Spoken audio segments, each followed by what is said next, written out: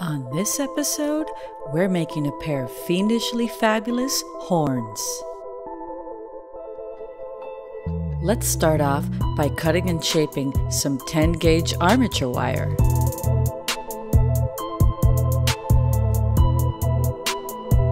Cut two equal lengths of wire. Let your imagination run wild. Your horns can be as long or as short as you want. Now let's shape our wire.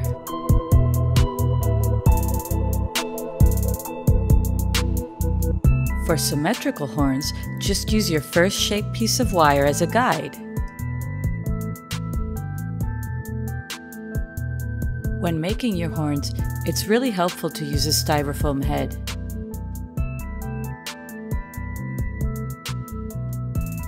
Now let's use some tin foil to bulk out the horns. Just wrap your foil around the base of the horn and work your way up.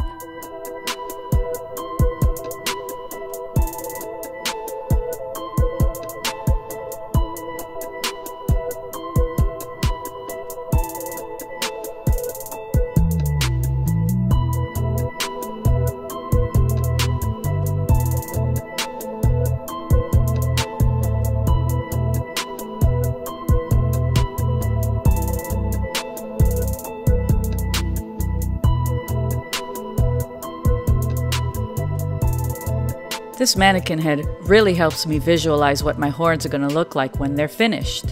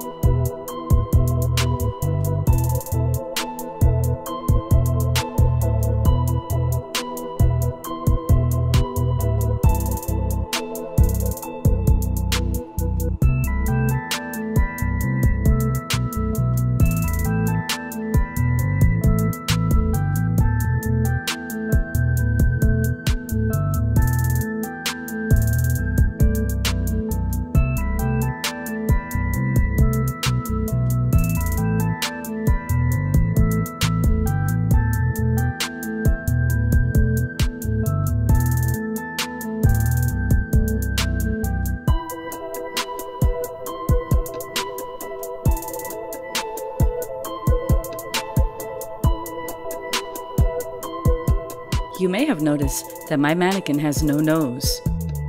Speaking of noses, how do you say nose in Spanish? No sé.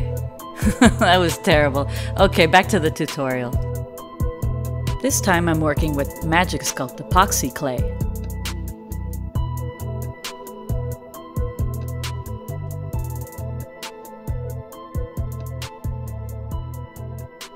Let's use some painter's tape to protect the headband from any stains.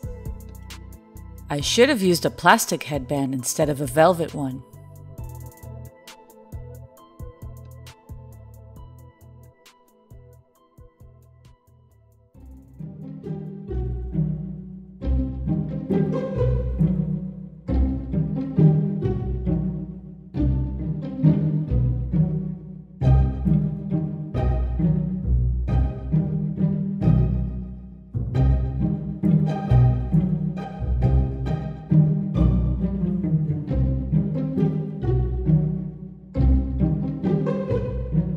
Mix equal parts of the hardener and resin.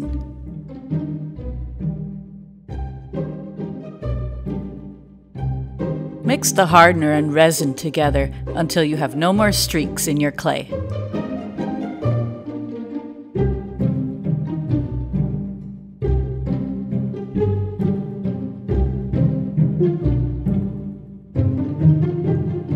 Now let's cover the tin foil in clay that's going to form our horn.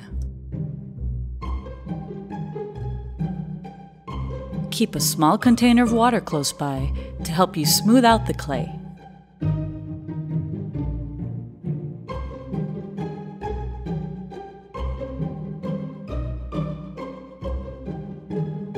Epoxy clays cure quickly, so I like to work in small sections.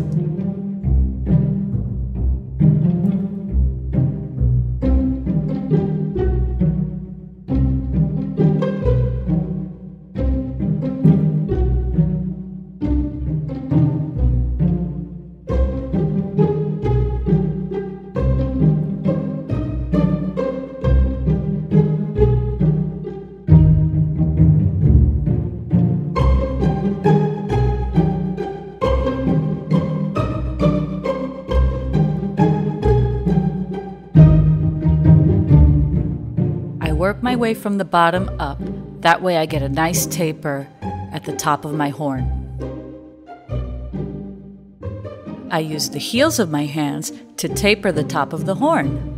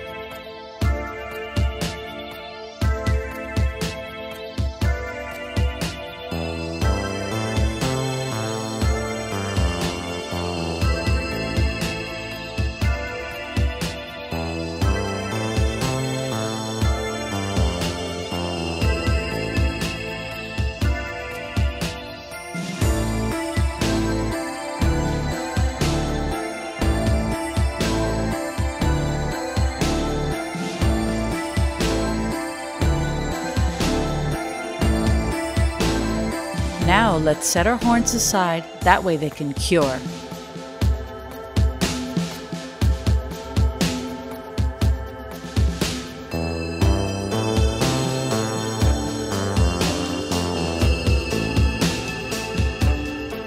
Now that the clay has cured, I'll add some extra clay to the horns to smooth out any lumpy bumps we might have.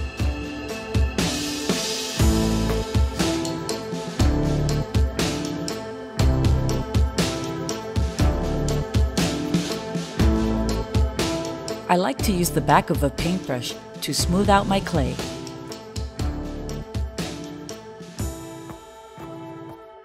Now we're going to roll out some clay noodles. They're going to form the ridges on our horns.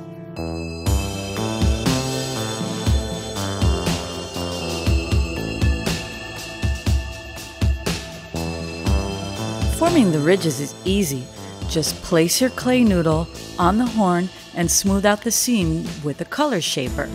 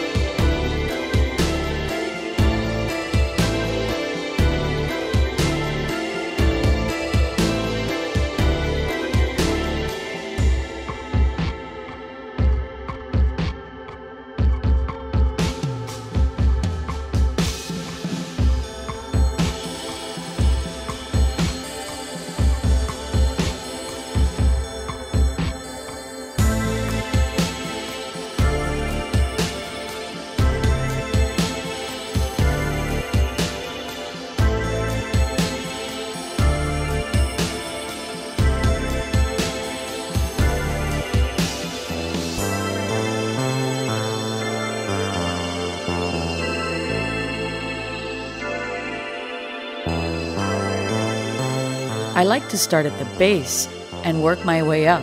That way I don't crush the ridges with my hand.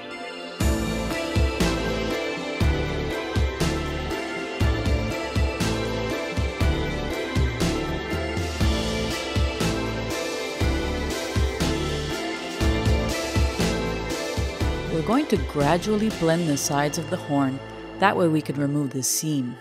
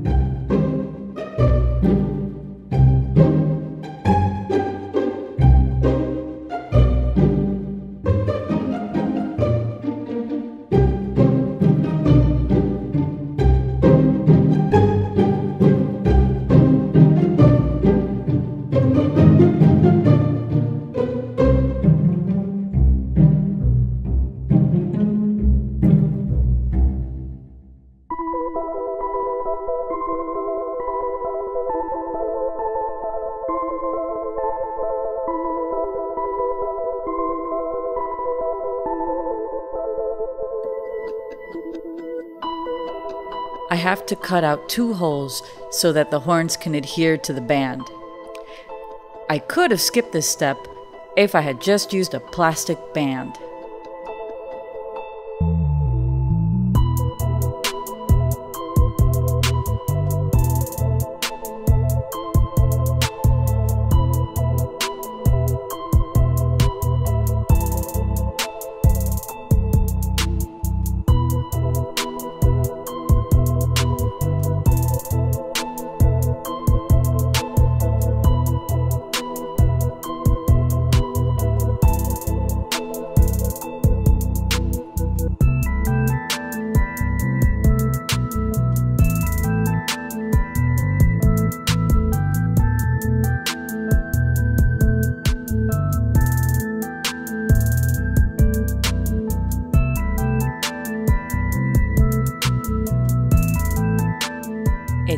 Stick those horns onto that headband.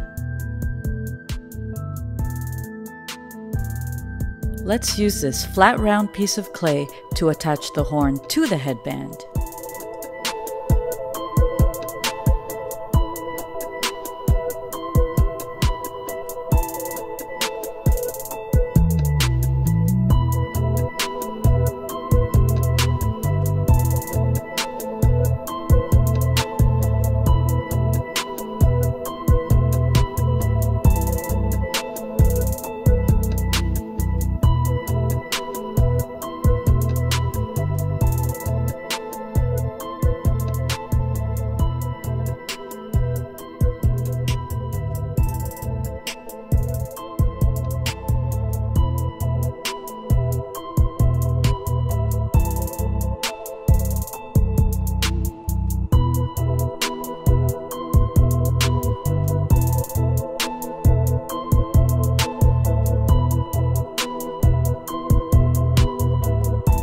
Don't forget to blend your edges very well and make sure your clay is secured onto the headband.